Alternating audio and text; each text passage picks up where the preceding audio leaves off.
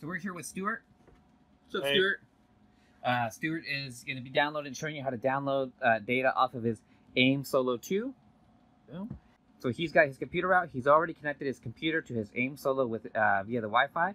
He has AIM Race Studio 3 open, and he's connected to the device. And now uh, the device has already automatically selected all the runs that he's recorded.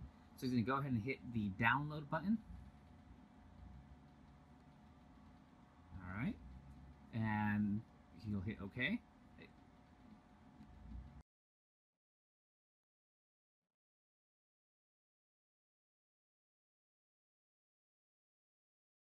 All right, now that it's downloaded, he's to go ahead and hit this analyze button right there, the little graphs.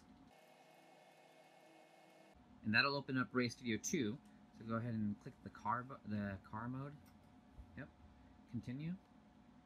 And go right click it and hit the open test folder, the last option. He'll click on the directory path. Uh, so click right here. He'll control C to copy that path.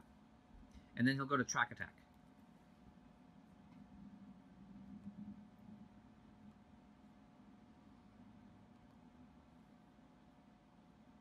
And in track attack, he'll click the import button, the big green button at the top left.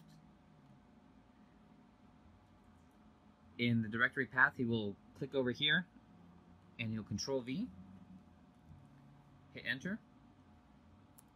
And now he'll select the XRK file, uh, the- that's the middle file there, and he'll hit open.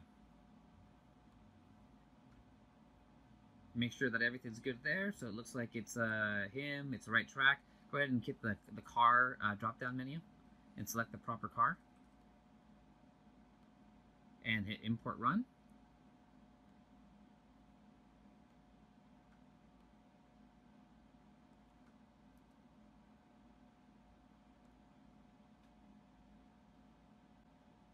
That's it. Now he's analyzing his data.